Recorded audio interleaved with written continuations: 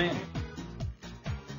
Hi, I'm Wolfgang Puck, and you can eat, love, and live well with my wonderful butternut squash soup. This is a soup easy to do yet very delicious. We start here with some butternut squash and a little kabocha squash. We're gonna cut it in half. All right. We're gonna remove the inside here. Now I'm gonna put that on a sheet pan with a rack. Season it with a little bit of salt. And then we're gonna put a little butter on it. We're gonna cover our squashes with aluminum foil. We're gonna bake that for about a good hour until it's nice and tender.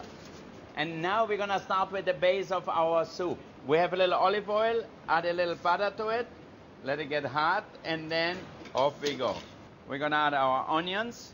We're gonna add a little cinnamon, a little more of the ginger, and a little cardamom.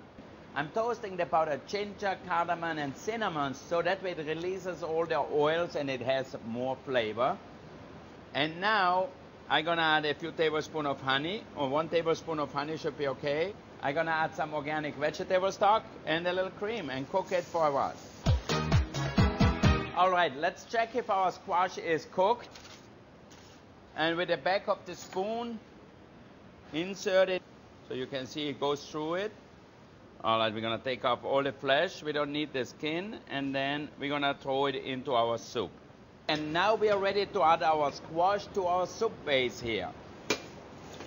This is a great assistant in the kitchen. You know, it's so easy. You can use it for many different things. All right, let's eat. I'm hungry. Mm. You don't have to wait for Thanksgiving to eat that. You can eat that anytime. As a matter of fact, this is the favorite soup in all of our expresses at the airport. Anybody who is hungry out there, they're running through the airport. Butternut squash soup is the favorite dish of our menu. Now, if you like, here we have a little cream. We can put just a little swirl on it. A little fresh herbs. And voila, here we have our wonderful butternut squash soup.